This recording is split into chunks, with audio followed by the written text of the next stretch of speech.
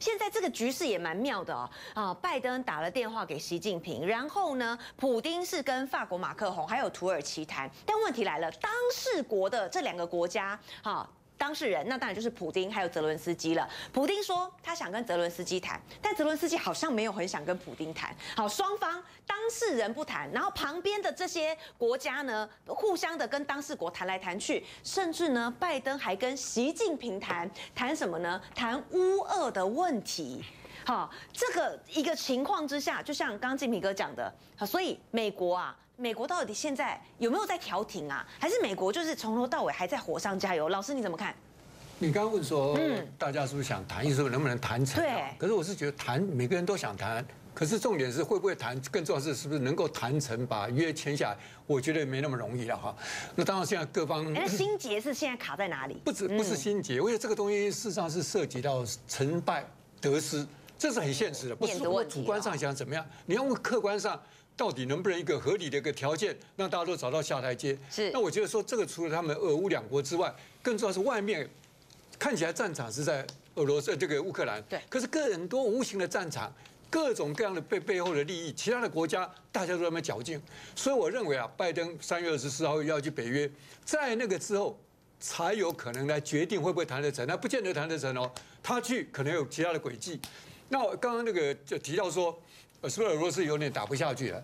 我是比较不认为的哈，就是说，当然俄罗斯那么大一个国家，军力那么强，一千多颗的这样导弹就不会把他们消耗掉，那这我认为是太低估他们。好，就算他们可能有点超乎原来的作战计划，有点拉长了，有点消耗了，死伤也比他们预估的重了。可是俄国有再生能力啊，他那个再生，刚才讲说再生不是很快，可是他们原来就再生力。重点我要问的是。乌克兰有什么打下去的本钱？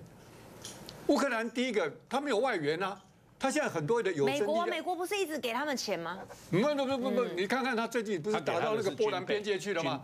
那个佣兵也有的也是吓跑了，你那个武器不见得运得进去啊，所以你那你给他能够给多少？所以你没有外援，我是没有其他的国家敢加入直接加入战争，产生一个很大的力量来对抗俄国。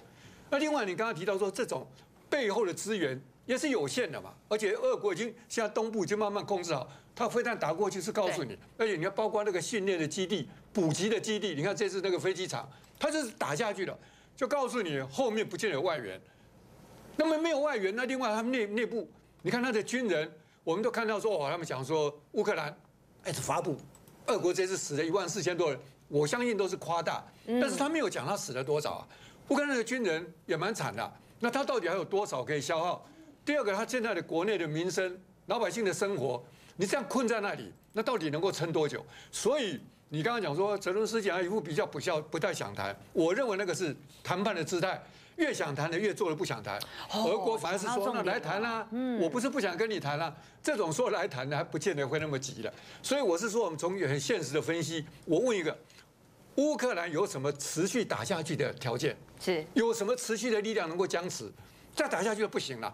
俄国再怎么差，他还是有办法。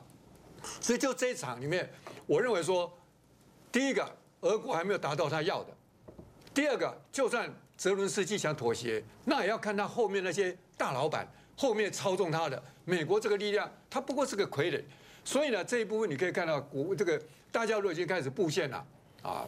普京也打电话给土耳其的总统，就开始拉线没关系啊，开始他放出一些条件，因为本来两个谈不拢的时候，如果因为乌克兰一直觉得他没有保障啊，我如果跟你签了，那到底怎么样？所以要把外面的力量拉进来，所以乌克兰要这个要那个要一大堆人来保障，所以他把外面的力量拉进来。有人在讲说中国要不要帮忙？包括川普哎不拜登这次去找的这个习近平，大概也就是在互相在摸底。所以我认为说二月二十四号为这些坏蛋北约这些国家见面谈，那才有可能，但也搞不好是。拜登讲说继续拉，继续弄啊！我们现在还有很多可以捞，还有很多缝隙可以搞。俄国怎么样怎么样弄？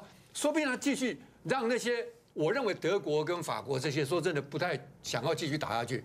像爱沙尼亚那个北那个这个波罗的海三小国，那个当然是啊，他小国就不断的上火。